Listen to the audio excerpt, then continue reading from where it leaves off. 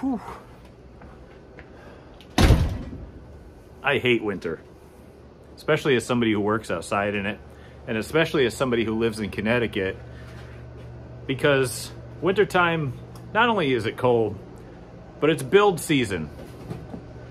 And with build season comes the need for parts. You all know how difficult it is for me to get sponsorship, and for those that I have, I appreciate greatly. That's why I joined and got accepted to the racechoice.com sponsorship contest. And this is where you all come in. This is where you can help me out a ton.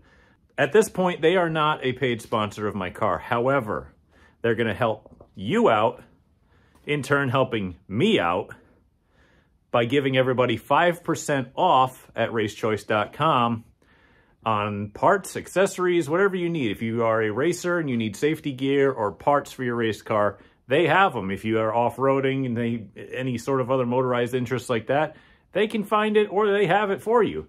So if you go to racechoice.com, enter the code, and I'll put it here at the bottom, support Gleason, they'll give you 5% off. Hey, Rock Auto can do 5% off. 5% off helps a long way. Trust me, a few bucks here and there makes a lot of difference.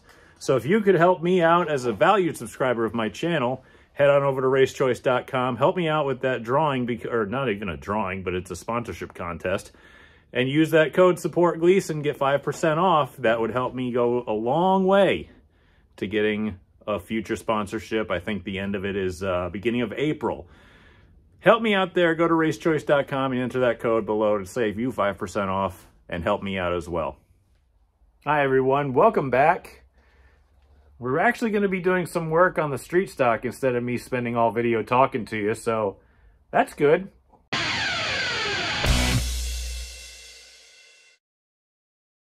If you're new to the channel or a returning viewer or subscriber, thank you so much for watching. I greatly appreciate it. Please subscribe if you haven't already. We do a lot of racing stuff. I do a lot of mechanical stuff. Uh, if I'm not doing race car stuff, engineering, fabrication, you name it, we do it, but it's usually race car stuff. Anyway, uh, we're going to get back to work on this car. Again, the last couple videos have been pretty weak, and I apologize for that, but stuff's been kind of happening and behind the scenes, and I don't really know if I want to tell you about it yet, but uh, it's going to have, well, it'll be on the channel eventually, whatever happens, either way. But for the time being, this is the only car I can really run. And if you watch the last video, it's, um, is hammered a good word? Or is that just a pun? And puns are lazy writing, so I don't really like that, but it's just not good.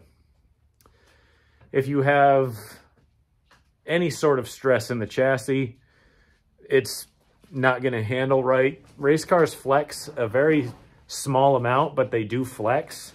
And if you can't get it to do uh, or react the way it was intended to, it's just not good either way. So you're never going to handle properly.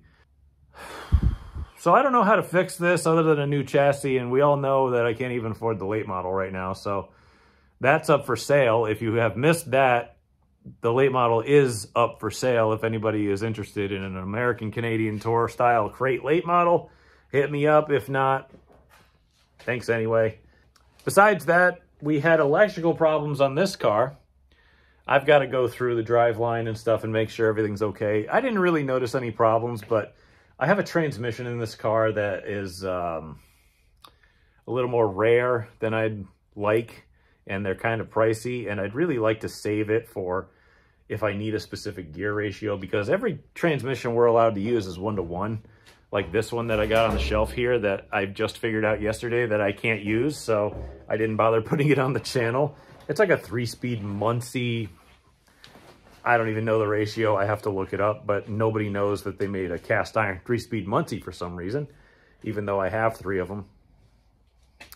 Anyway, anyway, um, the electrical issue with this car, that's what we're working on, and then we're just going to keep snowballing into whatever else we find, because this has to be ready by first or second weekend of April, so we still got a lot of time. We'll be fine. If you were with me last video, you saw me take and figure out that one of these cables was hot and I charged this battery but before I charged it I checked the voltage and it said 12.2 even though when I hit the main power nothing showed up. So something's definitely got some kind of a short or ground issue.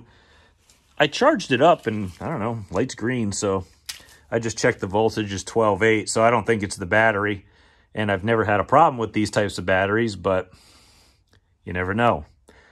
So I'm going to start tracing wiring and I'm probably going to start pulling it up, apart and see if any of the jacketing around the wiring has frayed or if, if it's like grounding the positive or if the ground on the negative is just poor.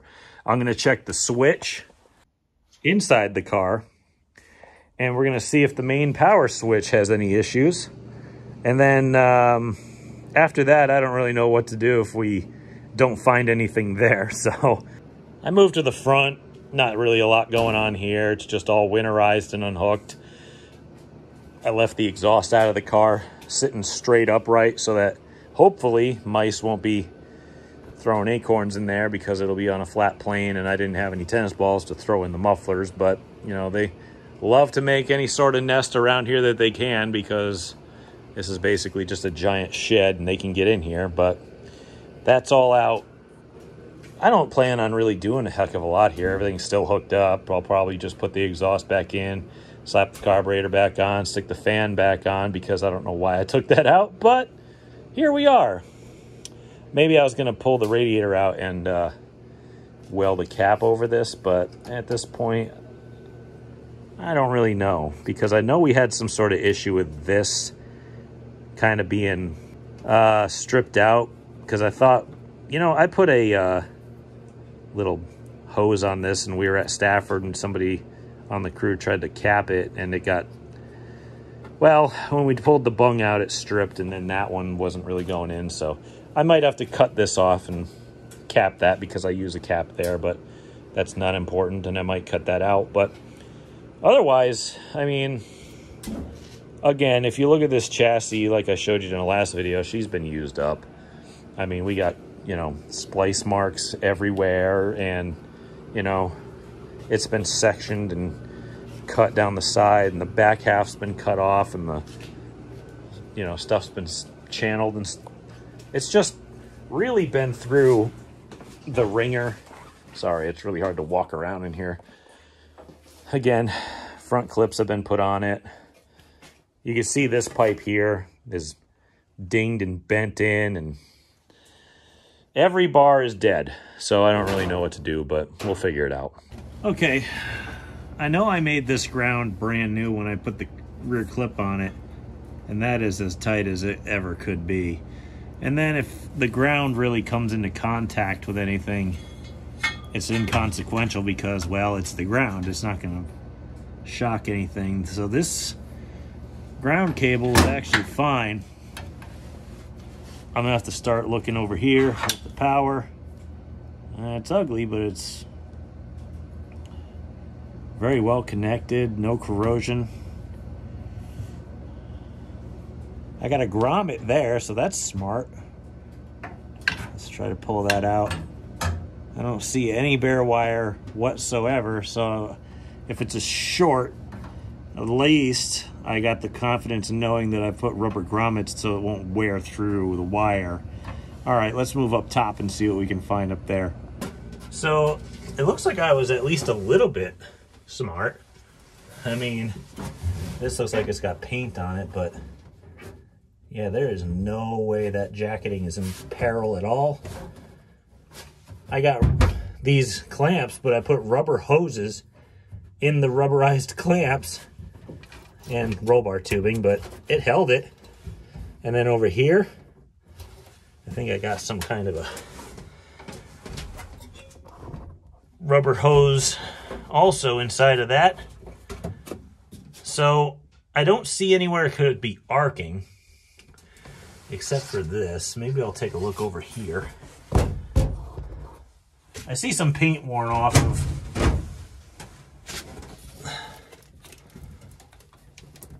Oh, it's not even touched.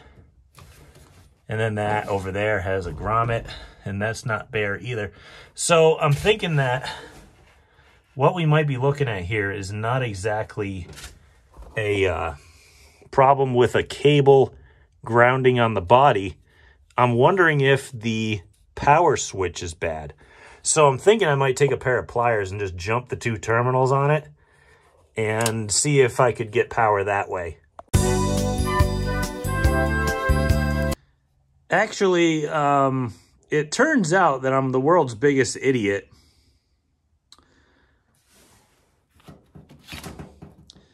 This cable goes to the starter, and I didn't realize that it wasn't hooked up and that it was just kind of yeah, jammed into the, the frame here, this hood upright that I put up.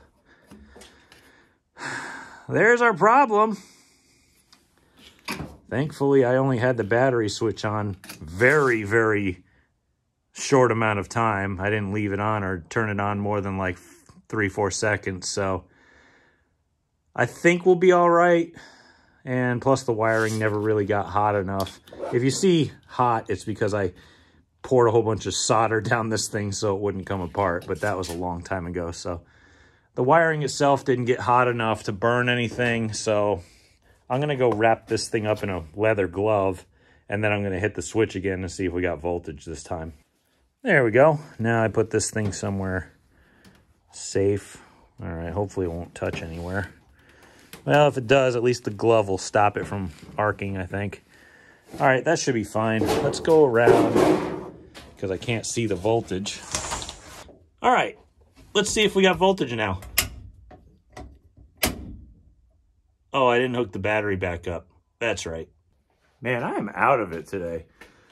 Usually I'm a lot better than this, but I guess it's just, I forgot that this car was as disassembled as it is right now. So I guess I'll grab an eight millimeter wrench and see if I can't put this thing back on and then try it. Okay, now that that's done, let's try it again. That's better. Okay, there is no wiring problem. I'm just stupid. See, sometimes, you know, even the most experienced can just do stupid stuff like, well, maybe not stupid. Let's say forgetful stuff. And uh, it could cost you time, efforts, monies, whatever the case may be, but at least we got it resolved fast and it's just that I'm forgetful.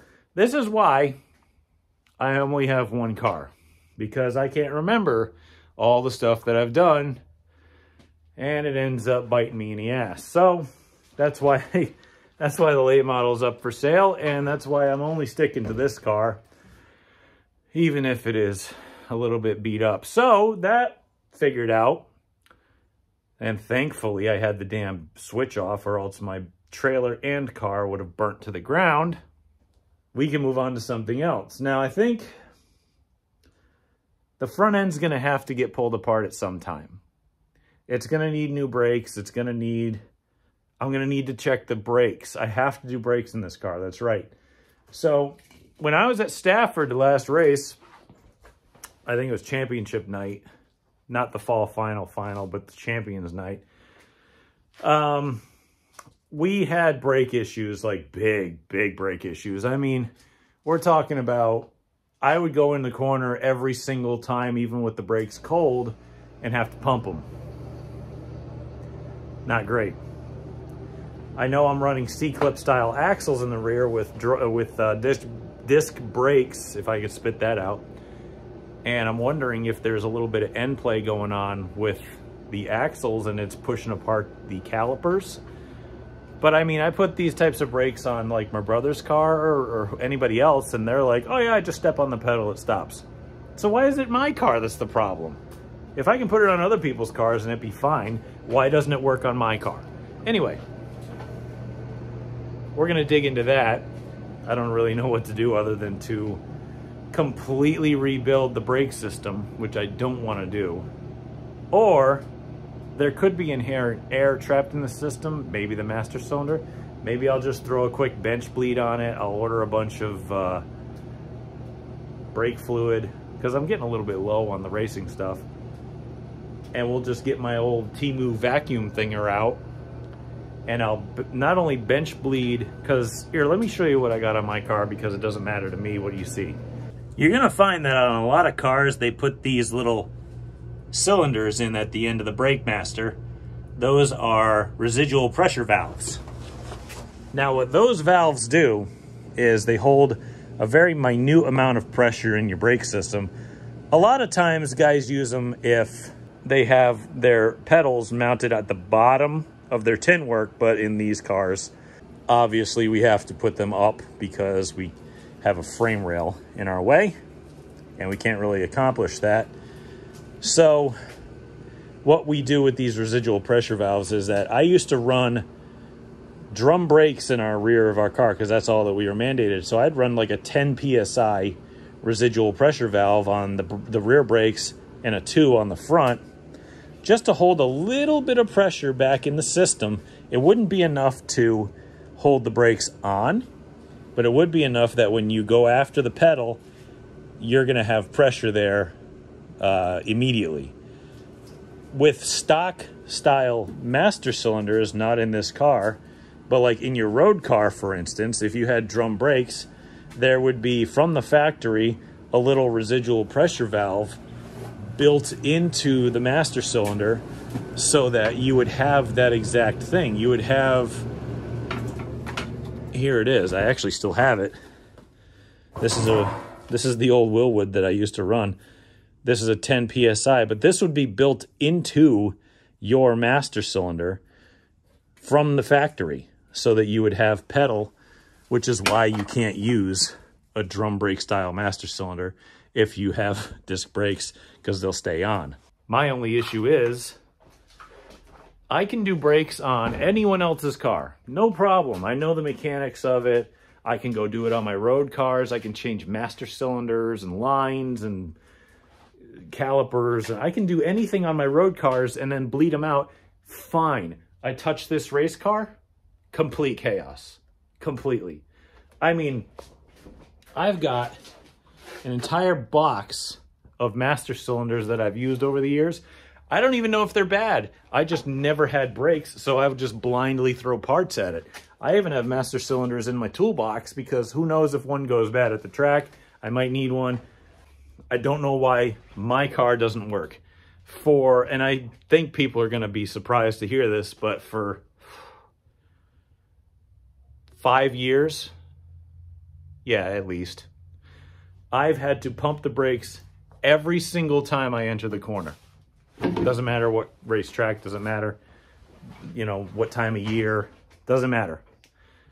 Doesn't matter the master cylinders I put in, doesn't matter any of the brake lines I replace, it doesn't matter, I've changed calipers, front and rear, I've changed brake pad type, I've changed the lines, I've changed the masters, I've put residual pressure valves on, I've taken them off, I've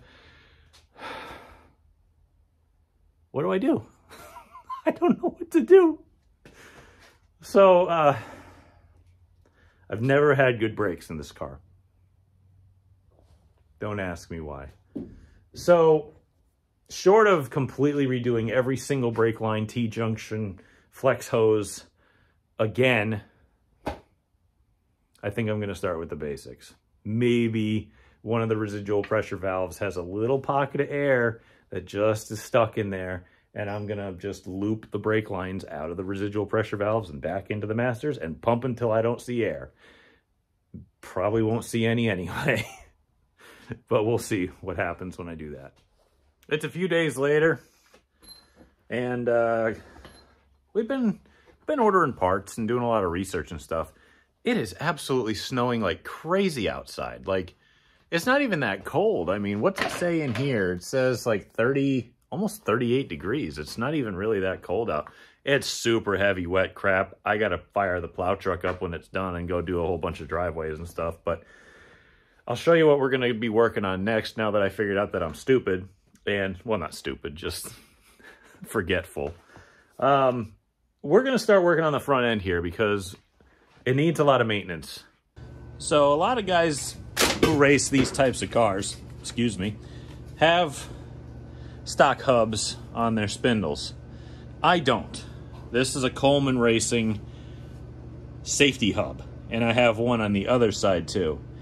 They are expensive. I mean, not counting the $125 rotor, the hub itself is like $275 a piece.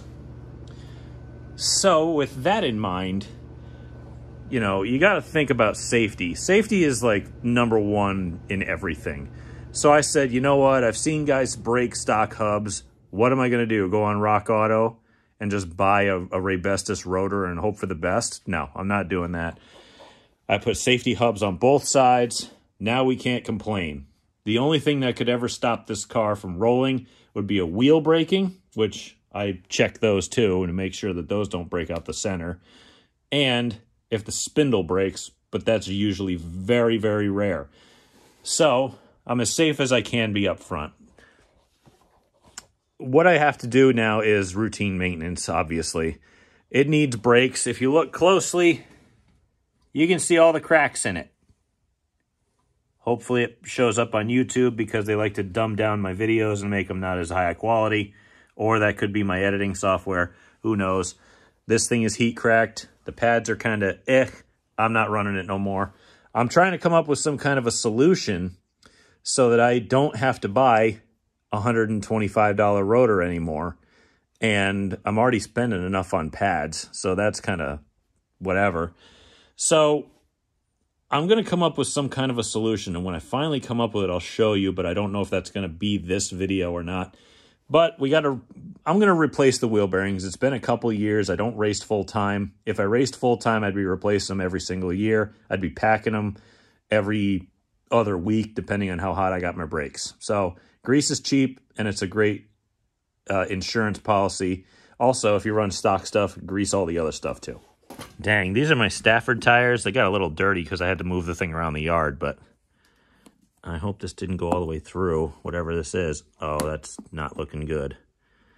Yeah, that's the that's the downside of racing. Sometimes, you know, you run stuff over and sometimes you luck out and don't have any issues. But I don't know if I'll be able to... Oh. Okay, it wasn't that big. Pardon my uh, disgustingness, but...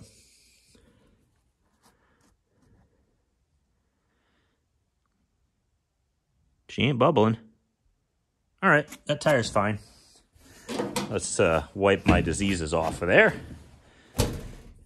So that's all right. All right, we got away with that one, but that tire's probably kind of junk anyway because it's been heat cycled a lot it's so tough in my situation where I've got a car that's legal a bunch of different places. Like, I want to race at a very specific racetrack, but I just don't really have the help to do it weekly. I need, like, I need tire money and I need fuel and I need, I like need somebody to tow the car to the track too. And, or I'm going to be there really late every single time. Maybe I won't even get practice. And it's like, that's really tough, you know? Especially because I, my work schedule, and this is the harsh reality of everything, my work schedule is Tuesday through Saturday. And I work 45 minutes south of home. And all the racetracks are, well, the ones that I want to race at, are all north of home. So you're talking 45 minutes south, then I'd have to come all the way back up, get my car and trailer, because I'd have to have it loaded the night before then drive up north to do it. And it's like, I can't take 20 days. I only have 20 days off a year. I can't take all of them to go racing. So I'd have to go after work and that stinks. Because I'm missing out on a hell of a lot. If you don't know, I'm talking about racing at Stafford. I really, really want to race there, but I just need more financial help and I need more sponsorship and I need more crew help and I just ain't got it. And um, I'm missing out. If I'm honest, I feel like I'm missing out not being able to race there. With I could be I could be giving all sorts of exposure with their streaming deal and their social media, and I mean Thompson, the people who run that place lease it. So what I mean, they're already doing their own thing. They run their own racetracks up north. They have their own series that they run, which is the ACT, and they own Thunder Road, and it's like they do as much as they possibly can. Their plate's full, and man, it's just I really want to race at Stafford, but Maybe someday. Maybe. We'll see. But back to work. I keep blabbing. So I got some parts coming for the right front there. I just kind of have the tire stuffed in there to get it out of the way. But I have a, another weird issue with the rear uh, brakes and stuff here. I have this weird sound that comes from them because I noticed that my pedal, sorry if I'm a little far away from the mic, but I noticed that my pedal, like I've, I've said before, doesn't really uh, come back. Like I have to pump my brakes, but I go like this with my brakes. You hear that thing like vibrating? Not anymore. There it is. Like, I don't know what it is, but sometimes my pads, I can feel them chattering. I mean, these are like, I know the rotor's a little rusty right now, but sometimes I can feel my pads like chattering and I'm wondering if it's chattering down the front stretch or back stretch or straightaway or whatever it is. And if it's like opening up the piston on the caliper. So, because I got street pads on it, I don't want racing pads because this is my Stafford setup. I don't want racing pads on it because, well, it tends to um, have too much braking force. So when you go into the corner, we have to run an open rear at Stafford, and it just locks up the rear tires, and you're sliding up the racetrack, wheel hopping the whole way. So I put street pads on it, and it fixed a lot of the bias issue, but now I got this weird chatter that I'm to have to figure out, and I got to find a spacer because I think I got the the spacer that's got the bigger piston size. This is like the smaller one, so I gotta find that. But before I do all of that, I'm gonna have to go in and make sure that there's no air and no nonsense in the lines because this thing just, it always stops like it has air in the lines. And I remember one time, I had a master cylinder on here. I think I since got rid of it every single time I stepped on the brakes, I could see air bubbles coming up from the piston. And you'd think over time, hmm, that'll just work itself out. If there's no air getting in, how could air possibly come back out? It never did. There were no leaks. There was no air getting into the system through any other means that I could tell. It always blew bubbles out of the master cylinder. I have no idea. I bled those brakes. I bled gallons of brake fluid through those things. No idea. I changed the master. It went away, but the pedal feel was exactly the same. What the hell do I do?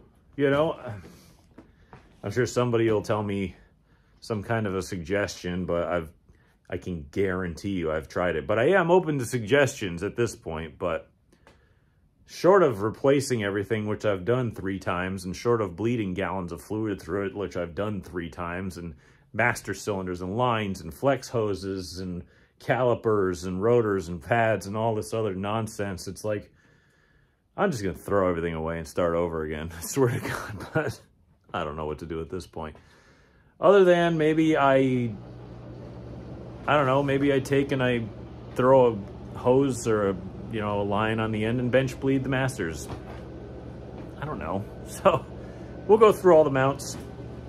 I'll go through all the lines. I'll go through the calipers. I'll go through everything I possibly can to see if I can't at least get some pedal feel back. But man, short of everything I've already done, what do you do again? Well, short of being clever, and uh, pulling things apart to see what I can fix on it. I'm out of parts.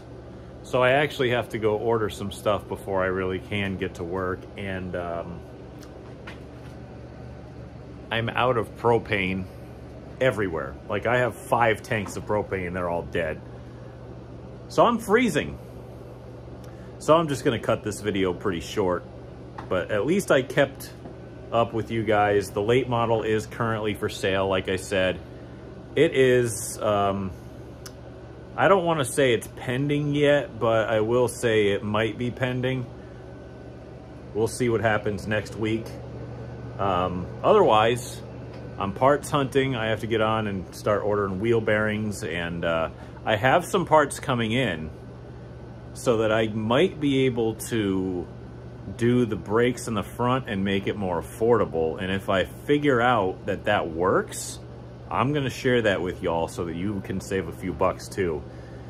Anyway, I'm gonna take it easy. I'm gonna go inside and warm up. I'm gonna cut this video off here like I said. By the way, if you saw at the beginning of the video, yes, I did enter the racechoice.com sponsorship contest, I guess you can call it.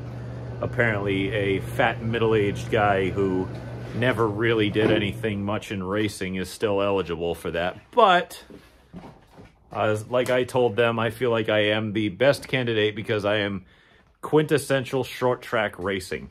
A guy in his shed, garage, whatever, doing everything himself. Fabricating, welding, engineering, setup, driving, owning, and spending a hell of a lot of money. So I feel like I'm a perfect candidate for that. And if I can get that, maybe, just maybe, it could open up some opportunities for me to expand my racing a little bit. So we'll see if that happens again. If you want to head over to racechoice.com. Again, they're not paying me, but they're passing savings on to you through me. 5% off your order with support Gleason as the code. Pop that in there and you can get your 5% off. Hey, it might not be a lot, but if you order a lot, it's still some bucks. So save yourself some money. Do that for me and help me out at the same time. And at the same time, you'll be helping out a fellow Connecticut based business. So that would be great. It's a double whammy. But again, we're going to get back to work soon. I just wanted to get a video out to touch base with you guys and uh, show you what's on the table. We're going to get to work again as soon as I get some parts in. Luckily, the electrical issues were not as bad as I was thinking. It's just mostly my fault, and that's fine. I can live with that. But subscribe if you haven't already. Please consider doing so. Please tell your friends about me because I could use as many subscribers as possible, especially for this contest thing, but also to try to get Google to give me tire money every once in a while. We'll see if that actually happens, but, and I can also share my love of short track racing and everything that goes along with it with you all. Tell your friends if you think they'd enjoy something like this, and uh, until next time.